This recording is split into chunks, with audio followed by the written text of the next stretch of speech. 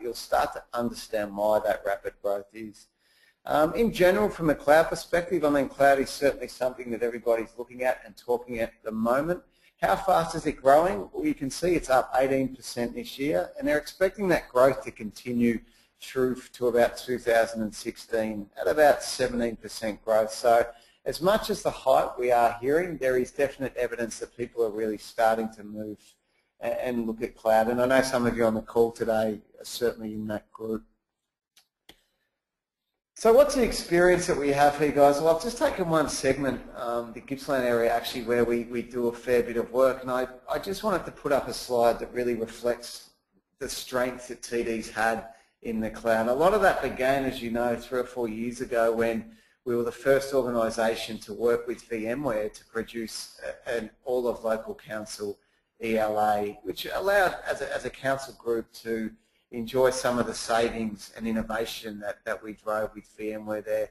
Since then, we've certainly done a lot of work around the DR. David Danner, some of the guys that you'd be familiar with, ran a all-council BIA uh, where we started to look at, you know, from a business continuity and DR perspective, what the governments were doing and how we could help ensure that those processes were in place across a lot of the councils and he continues to work with many of them today doing that.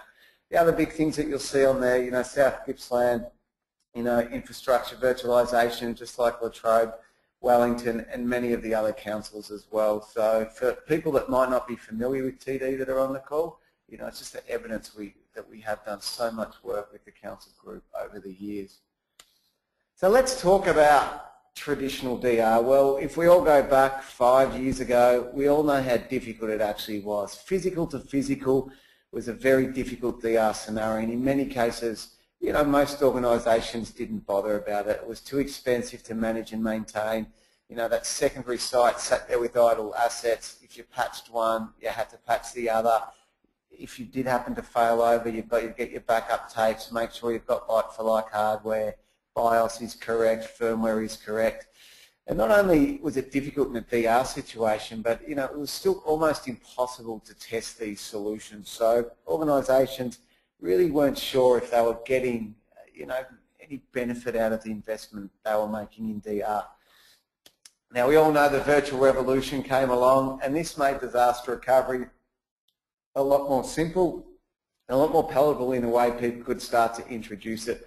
How did it work? Well, with virtualization, we started to run, as we know, VMDK files on shared storage on the SAN. So we used to start to do some kind of storage replication, maybe a tool like Recover Point, and we'd use that to move the virtual machines, and then over the top of that, we would run tools like Site Recovery Manager, and this provided the orchestration. Now, some of the great benefits for this was, of course, that reduced hardware costs, and some of the cost savings we were realizing from moving to virtual environments started to pay for those DR environments. There's no more need for like-for-like x86 servers, which was great. You know, you could start even some of your old hardware in a DR site to realize some of the cost savings as well. And the idea around automated runbooks provided us this concept that you didn't have to always then have these paper-driven manuals when you went into DR. You could group applications. And this, of course, meant it was a lot easier to test these environments. You could bring up your VMs in a bubble environment, check they're okay, and bring them back down. That was a great leap forward from physical DR, but over time it started to create its own challenges. And one of the, the big ones there, guys, is idle cost. And some of you I know have also on the call today have secondary sites where you deployed a replica of your production environment and over the last two or three years you know, that's sat there quite idle. Um, and it's a big expense that customers have sitting on the books as just in case something goes wrong in DR. And we'll talk about how we address some of those challenges with DR as a service. Management and maintenance, you know, you patch one side, you patch the other. You upgrade your vCenter to 4.5, 5.1, whatever it might be, and you've got to patch the other one as well. The other thing is that secondary side is always powered on, so the cost to cool that environment of course, the power there as well, you know, is another cost to the business. Scale, we all know growth of data is sitting at about 40% year on year. So that means if you need to upgrade your production SAN, you have to upgrade the secondary SAN as well. So scale becomes more difficult. And of course, every three years, CapEx. Every three years you need to replace that when you replace your production as well. And probably the one that we're seeing drive a lot more people towards the DR as a service solution is that concept of the IP sitting with a small team. So if you are to invoke DR and the people that have that IP are with you or may have left or whatever it might be, you're very reliant on them bringing up that environment, whereas in the solution we'll talk about, you get to share that risk amongst you know, a large team of consultants. So, what does a solution look like? How are we starting to solve some of those problems and issues with traditional DR or people without DR?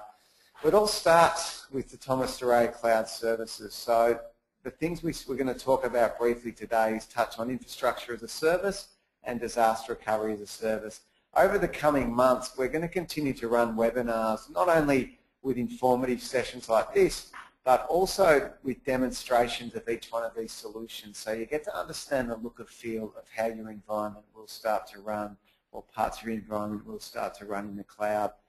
So let's talk about the actual building of the, of the DR as a service solution. It all starts with this concept of what we call a virtual data center. So our cloud we built best of breed with our partners, EMC Cisco, and of course it's now been certified by VMware as vCloud powered. But it's built on this concept of a virtual data center. So instead of building up single VMs here and there, we build you a virtual data center within our vCloud. Now that is your virtual data center to do with what you like. In this concept we're talking about today, it becomes the target for the replication of your VMs for disaster recovery.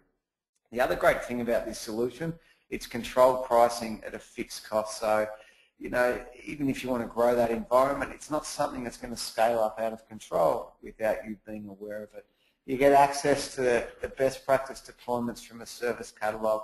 Now what I mean by that is within that environment we have deployed templates for SQL, for maybe Exchange 2013, for all your traditional OSs such as Linux, your OSs from Microsoft. So within that environment, you have access to start to run a test and development out environment within this virtual data center as well. So we'll probably, as I said, run a session in September and go into more detail on this, but let's focus down now on the actual disaster recovery solution itself. So when we went to market looking for a solution uh, as a cloud provider, the most important thing for us is we had to remain agnostic. Now we know out there within the council many of the environments are different. Some run HDS, some run EMC, maybe some NetApp, and there's definitely some Dell out there as well. So as a service provider, we need to make sure you are able to replicate into our environment from yours without having to make any changes to our cloud. So the way we do, do this is through what we call hypervisor-based replication. So instead of replicating out at the storage level, we do small block level changes that get fed out through the vSphere API and replicate it across into the vCloud. So this means we are highly scalable because there's no physical hardware involved. We install a small um, virtual replication appliance that sits on each, each ESX host, which means it's very, very easy for us to scale. You add a new host, we just put a virtual machine on there because we're replicating small block level changes, it means the RPOs that we start to talk about are really seconds. So this becomes critical because that RPO within organisations has changed even from three years ago when you deployed maybe your existing DR solution. Organisations can't afford to lose days or multiple days of data anymore. So these solutions can really pull that RPO down quite quickly. Now another thing is within the world of disaster recovery, it's not always a flood or a fire that causes a disaster. In many cases, in fact, more often than not, it can be human error or corruption that's hit the production site. Now within this solution, the corruption may hit and get replicated across to DR, but we have the ability to journal back point in time, find when that um, corruption may have hit, bring it back up, test it within the cloud, and then roll it back into production once you're comfortable that that application is back into a state that, that you need it to be. And of course, the, the big thick pipes that used to be required for disaster recovery and no longer we still need some good bandwidth, but certainly not the size we used to talk about because we're compressing this and then throttling just small pieces, I guess, at the, at the bit level. Um, it means we don't have to rely on the, on the big bandwidth that we used to. So we all know at an application level, not many apps these days, especially ERPs and that, are single VMs. Most of them are multi-level, multi-tiered applications. They'll have some sort of web front end. They'll have an application server, maybe one or two, and then of course database servers. So in many cases with traditional DR, even though you've replicated those VMs across, you still you know, will have struggle when you bring them up to make sure that application consistency within that environment is correct. With this solution, we actually group the applications into one, what we call a protection group. So let's take a, I'll, I'll use SAP for an example. I know some of the customers on run SAP. We group that web layer, we group the application layer and the database layer and replicate that as one protection group. So what that means, when you bring that up over in production, those applications and the data between them has remained consistent. Even within your production, it might be moving around with storage vMotion or traditional vMotion.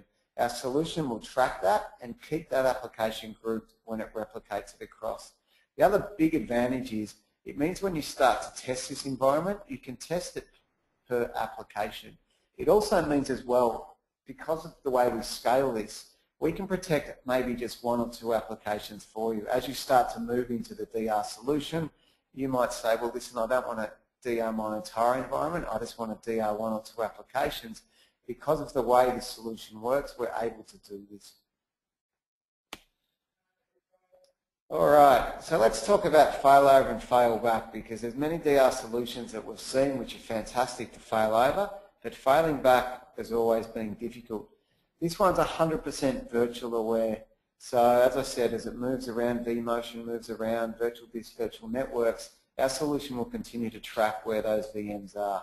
We obviously replicate them across, and then in the event of a disaster, we apply more capacity to those environments as required and start to bring up those VMs. So the RTO is just minutes, guys. And, and people that have used Site Recovery Manager as well will understand how quickly you can get those environments up and going. So we recently did a test with a customer for an audit. It was actually an audit with PwC, where we restored their entire environment well and truly up and had users in there within an hour. And that was quite a complex environment that involved SharePoint, talking into Exchange, talking into Microsoft Dynamics as well. So the other thing is, when you run these tests, you can run any test that you want from a single application to the entire environment up on a bubbled environment within the vCloud. So what this means is, you know, for auditing purposes for your business, you're able to run up, do the test, print out the audit reports. There's many levels of auditing reports within the environment that you can then hand back to the business and say, yes, in the event of disaster, we've got the tick. And then off-site cloning. And this goes back to what I was talking about earlier around test and development. Because you've got capacity in the cloud now, you can actually snap clones off this environment and bring them up in the cloud to start doing test and development. If you want to start to do some patching on your applications or you want to start upgrading versions of those applications, you can quite easily do that in the cloud, once again, off on an isolated network. So one of the other big benefits that we talk about now with DR as a service is really how quickly it can be implemented once those projects begin. The assessments can be done, the design and build only takes a few days now. We see the data and I'll say, voila, you've got DR in the cloud. The reason for this, guys, is because we've already made that big investment in building the infrastructure within our data center. So for DR now, you don't need to go through the process of designing and building a secondary data center, you know, getting your storage in and your computing and building that environment. We've already been through that. So in many cases, it's a small configuration on your site once the assessment's been made, the seeding of the data, and then just the configuration of the environment. So, you know, for a sample 30 VM site, we sort of talk about sub 10-day projects now, which is quite astounding when you compare the size of the traditional traditional disaster recovery projects that we know that we've been through with, with many of the councils. So the sort of services that we do now or deliver the DR services, the abridged BIA is something that we still see as critical um, before people move into a, a, DR project. We come in, we really understand the RPO and the RTOs of the environments. We talk to the business about the critical applications that they want to start to bring up in those environments and start to determine the application restart order. And some of you have been through those workshops with Dave and understand how critical they can be to ensuring a successful disaster recovery solution. The other one that we have is obviously a DR assessment It doesn't go into the detail of an abridged BIA, but either way we still need to run the assessment just really to understand what type of applications you're running in your environment, the size of those applications, the change rates. The change rates is critical because it helps work out the bandwidth that's required between your site and our cloud. And then, of course, you know, it gives us a high-level design and costs with the recommendations of what's required. So these are things, guys, that we can certainly run for you um, at the moment, you know, when required. So I guess we've spoken about the solution and, and gone into some detail on it, but let's, let's really spend some time now talking about the benefits of the DR solutions. To me, really what it comes down to in such a big way it's all about risk reduction. So I spoke earlier about the IP of your DR environment sitting with maybe one or two people. That is a risk to the business and the main reason being is if that person's not available and disaster recovery has to be invoked, you know, who in the business is going to do it? With these solutions, how it works, which is fantastic, you've got a 24 by 7 support number to call. So that risk doesn't all sit with you. You get to share that risk with you know, Thomas Duryea as a business. You call our service desk and you know you've got 100 consultants, so to speak, on the end of that phone that's going to help bring that up. So there's no single point of responsibility around disaster recovery. As part of the project and as part of those 10 days of services, that includes a plan, and that is a 10-step plan that's going to take you from point of declaring a disaster through to having your environment up and running in the desired RTO.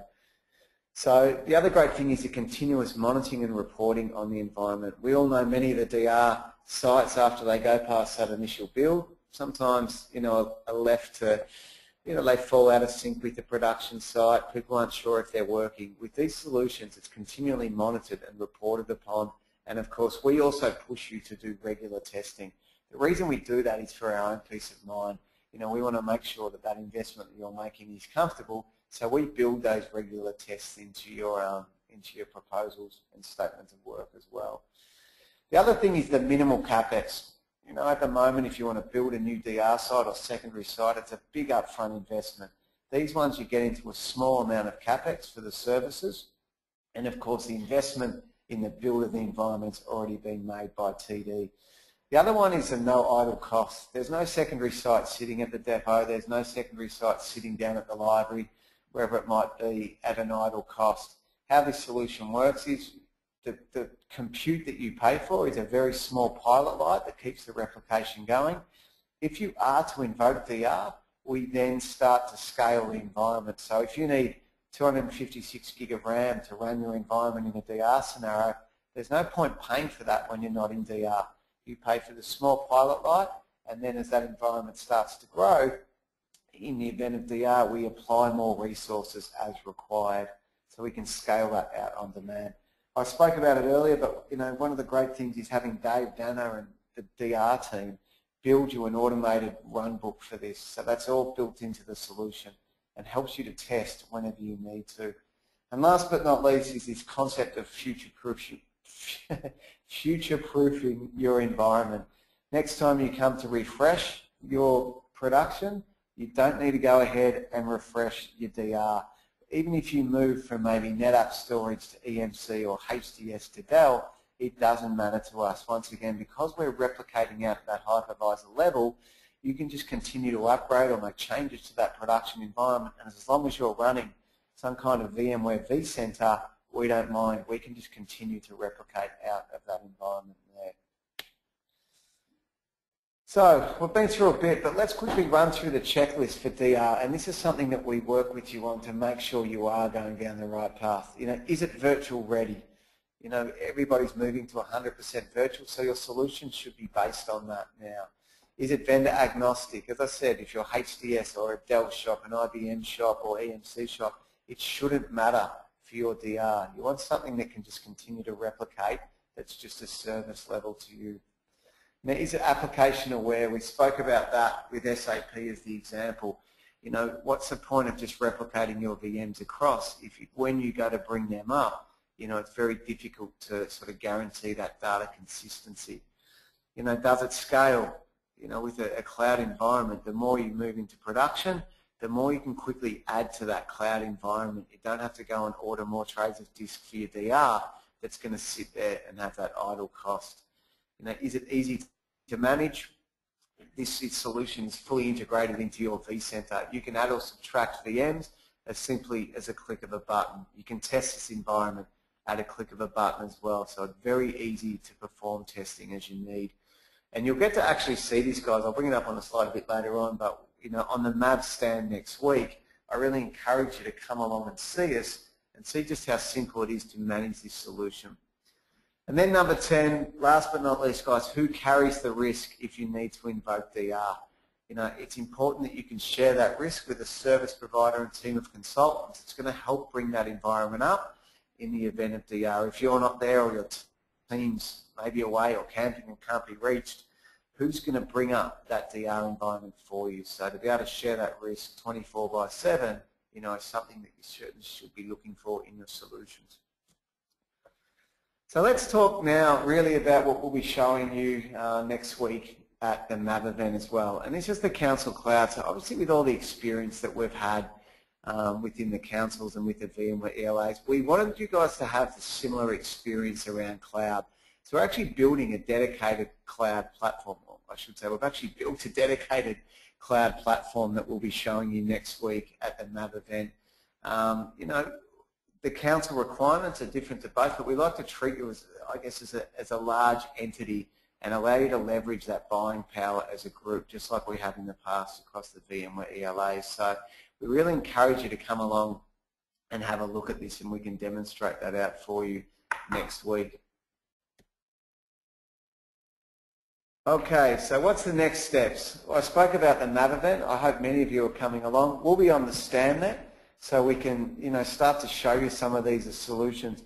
For the people that can't make it, we'd love you to book a one-on-one -on -one time. We've met with, you know, several of you, and some of you, as we know, are moving down the path with this solution, which is fantastic. Um, but if you haven't seen this and you want to see it, please book in a time for us to come and demonstrate in your office and talk through how it all works. The other thing that's available for you too, guys, is the evaluation of a cloud service. So, you know, for 30 days, we can run up an environment and we can come out and even start to replicate VMs in there in your environment. So we really want you to start to understand how the benefits that you'll get out of this solution and just that, that pain and complexity it'll take away from your traditional DR. So we really encourage you to take us up on the, on the option of the evaluation. And it's quite simple. If you wanted to order that now, if you type yes in your question area, we can start to, um, you know, we can start to do that straight away. And of course, that's a zero dollar. There's no cost to that, guys. Um, we can spin it up for 30 days. You can go in, have a look at the service catalog, run up some virtual machines, see what you think. And the other great thing is, you know, we can connect you into your on-premise solution through a tool called vCloud Connector. And that's no cost at all either. So you'll start to, you know, within a matter of seconds, so to speak, have your own hybrid cloud connecting from your on-premise into a, a VMware vCloud powered offering.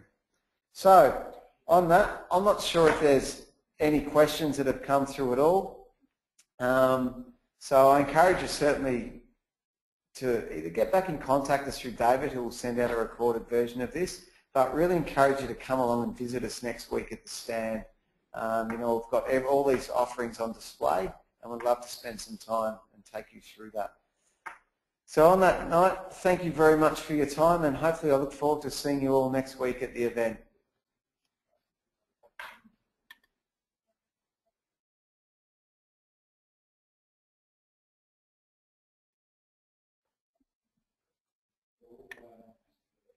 If you're there, guys, actually anyone that's still on there, we've just had a last minute question come through, which is great, and that's around data sovereignty.